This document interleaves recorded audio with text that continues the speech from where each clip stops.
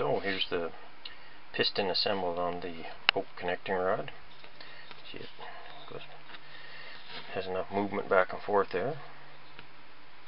Allow it to run in the engine.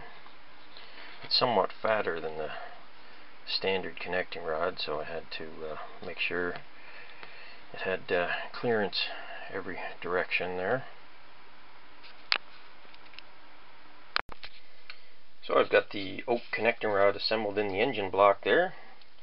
See it in there. So we'll fire it up here, see how it goes.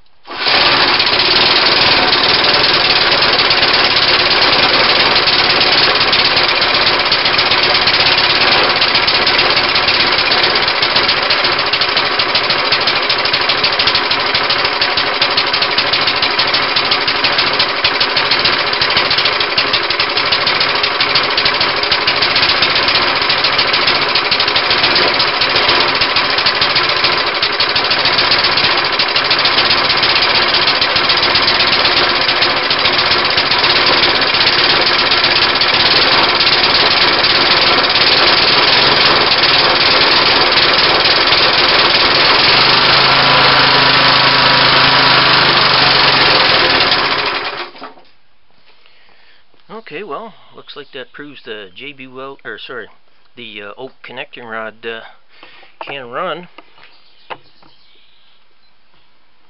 I uh, don't know why I was having such carburetor issues there, but uh, it was running way too rich apparently.